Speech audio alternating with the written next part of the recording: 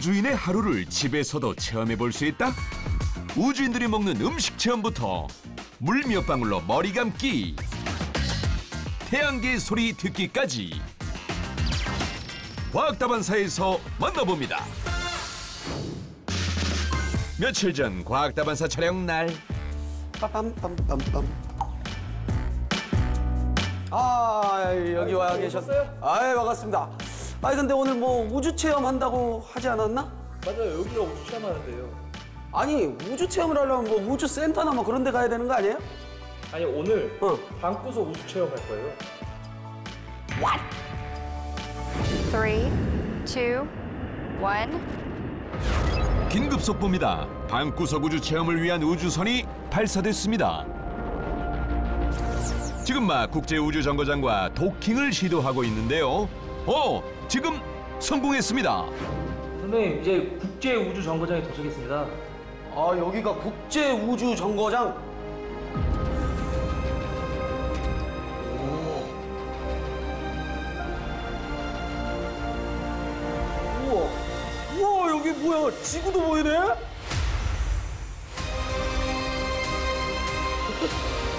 이렇게 해주기를 원하는 거죠? 네. 알면서 뭘 그래? 자 이제 현민이가 우주에 왔는데 뭐부터 하면 될까요? 뭐 밥부터 먹나? 첫 번째 우주인 음식. 뭘 준비한 거야 도대체? 그것은 바로 이거 뭐야? 어? 이거 뭐예요? 우주 비행사들을 위해서 개발된 아이스크림이에요. 이게 아이스크림이라고요? 이야 역시 우주 음식은 다르네 아이스크림? 자 그러면 첫 번째 우주 음식 아이스크림을 먹어볼 텐데 시식에는 저와 함께 해줄 셀레나 작가가 함께 하도록 하겠습니다 셀레나! 아우 어서 오세요 셀레나 어우 또 우주에서 우리 셀레나 작가와 함께 하게 되네요 1960년대에 개발됐다는 이 아이스크림. 우주에 가도 녹지 않도록 동결건조 처리가 되어 있다는데요. 자 이제 잡아보세요. 자 어디 딸기 맛 여기부터 한번 먹어볼까?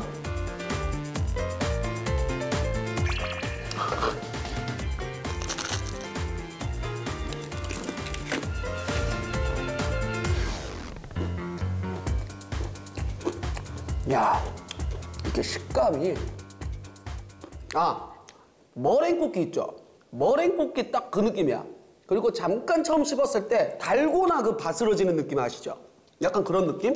달고나 느낌이에요. 네. 셀레나는 어떤 맛이에요? 먹으면 먹을수록 약간 프리맛? 근육? 약간 그런 가루의 텁텁함이 느껴지면서 되게 뒷맛이 개운하지 않아요. 힘들게 개발했지만 우주에 나간 건 딱 한 번뿐이라는 아이스크림. 그 이유는 먹어보면 바로 알 수 있다네요. 하하. 이걸 근데 우주 비행사들이 드신다고? 뭐 이거 말고 다른 것도 먹겠지? 다른 것도 다 이래? 사실 우주 비행사들의 음식은 오랜 연구를 거듭해 왔습니다. 최초의 우주 비행사 유리 가가린은 튜브에 곱게 간 고기와 주스 등을 넣어 우주선에 탑승했는데요. 그 후 60년대까지 우주 비행사들은 아이스크림처럼 동결 건조된 음식이나 튜브형 음식들로 끼니를 때워야 했습니다. 하지만 기술의 발전으로 우주인들의 우주 체류 기간이 점점 길어지면서 다양한 음식 개발이 필요해졌습니다. 그 결과 다양한 채소, 빵, 과일 등을 우주에서도 먹을 수 있게 됐는데요. 그래도 여전히 부피와 무게를 줄이는 것이 급선무이기 때문에 동결 건조나 진공 포장 방식이 많이 쓰이고 있답니다. So today I've chosen dried spinach. 나사에서 공개한 영상. 진공 포장된 시금치를 정수기에 꽂고 버튼을 누르자 뜨거운 물이 나오는데요. 물과 내용물을 잘 섞어주면 요리 끝! 이제 우아하게 먹으면 됩니다. 두 번째, 우주인 머리 감기. 물이 귀한 우주에서는 씻는 것조차 평범할 수 없는데요. 최소한의 물을 사용해 머리를 적시고 특수 샴푸를 사용해 두피를 씻어냅니다. 이번엔 이 머리 감기 체험을 해볼 텐데요. 자, 이게 바로 우주인들이 사용한다는 우주인 샴푸라고 합니다. 이걸 제가 이제 지금부터 감아보도록 하겠습니다. 첫 번째로 소량의 물을 두피에 적셔줍니다. 아, 소량의 물. 아무래도 이제 우주다 보니까 물이 많이 필요는 없는 모양이에요. 그럼 소량의 물이면 한 요, 정, 요 정도 해가지고 이렇게 두피만 좀 이 정도만 적시면 돼? 자, 조금만 조금만. 적셨어요. 자, 이렇게 적셨으면 다음은 이제 어떻게 합니까? 이 샴푸를 머리에 이제 뿌려주시고 거품을 내듯이 문질러 주시면 돼요. 아, 이, 이거를 그냥 뿌리 뿌리라고요?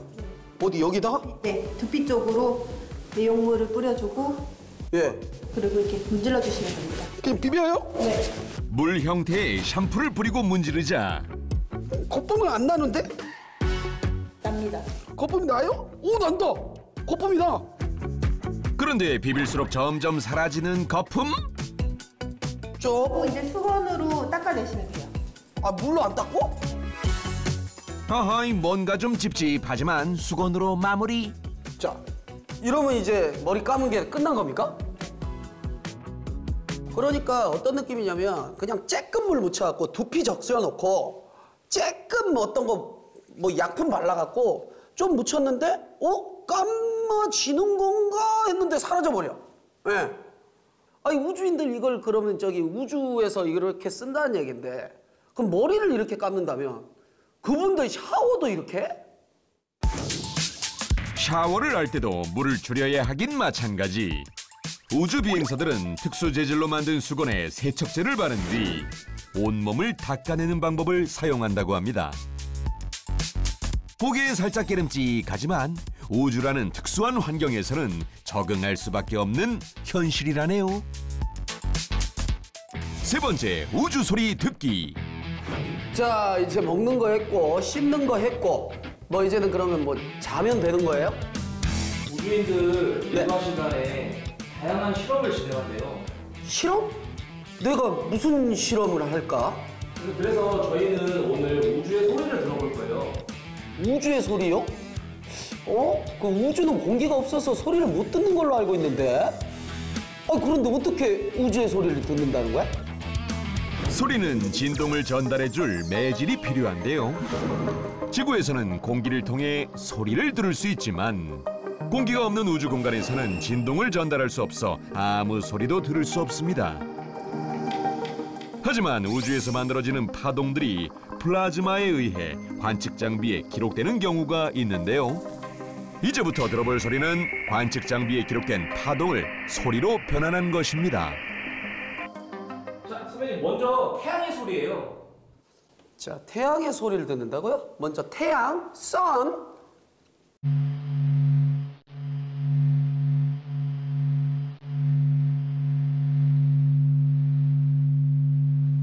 잠깐만 이게 태양의 소리라고?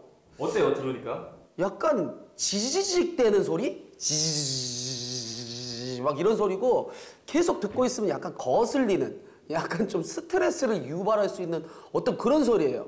아 이게 태양의 소리구나. 이 소리는 나사와 유럽 우주국에 의해 기록되었고 스탠퍼드 대학의 물리학 연구소에서 소리로 변환되었는데요.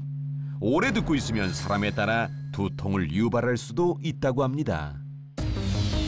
다음은 목성의 소리입니다.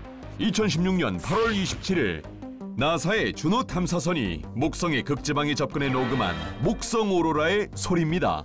한번 들어볼까요?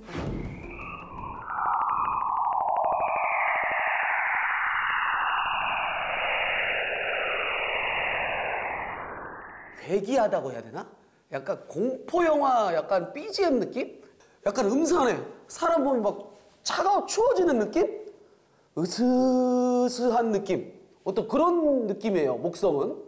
자, 선배님 그러면 이번에 이제 우리가 소리를 다 들어봤잖아요. 네. 자, 퀴즈를 한번 내볼게요. Wow. 총 세 가지 소리를 들려드릴 건데 이 중에서 지구의 소리를 좀 찾아주시면 돼요. 아, 셋 중에 하나만 지구의 소리예요? 네네네. 오케이. 한번 제가 그럼 맞춰보도록 하겠습니다. 여러분도 함께 맞춰보시죠.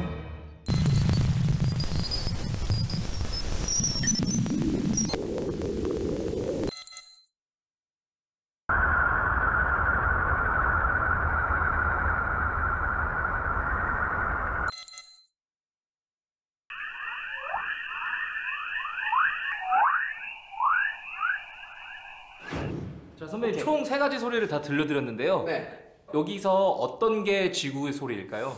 자, 우선 들어봤을 때 3번, 3번, 3번. 들었을 때 아마존 숲속에서 날것 같은 소리 같은 느낌이 있었어요. 약간 오이, 오이, 오이, 오이, 오이, 막 이런 소리가 나고 그랬거든? 그래서 약간 새 소리 같기도 하고 그럼 정답을 공개합니다. 첫 번째 기괴한 소리는 태양계에서 가장 큰 위성인 가니메데의 소리인데요. 가니메데는 지구의 달처럼 목성을 공전하고 있는 위성으로 거의 행성 수준의 크기인 만큼 웅장하면서도 기괴한 느낌을 준다고 합니다. 두 번째는 바로 천왕성. 평균 기온이 영하 218도인 만큼 왠지 아우 차가운 느낌. 세 번째가 바로 정답 지구였습니다. 이 소리는 지구를 둘러싸고 있는 고에너지 입자고리에서 나는 소리인데요. 마치 새들의 지적인 같다고 해서 과학자들은 이 소리를 합창이라고 부른다고 하네요. 네, 오늘은 제가 이 방구석에서 우주인 체험을 짧게나마 해봤죠. 뭐 먹고, 씻고, 듣고 예 해보았는데 아, 해보니까 어, 조금이나마 그래도 우리 우주 비행사님들의 어떤 노고를 좀 느낄 수 있었다라는 생각을 좀 해보았고요. 앞으로는 저희가 이제 우주 여행을 할 날이 얼마 남지 않았다고 해요. 그렇기 때문에 여러분들 집에서 아, 한번 간접적으로나마 이렇게 우주인 체험 해보면 재밌을 것 같습니다. 어, 그러면 저는 여기에서 인사드리고요. 다음 주에 뵙도록 하겠습니다. 현빈이랑 갈게요. 안녕!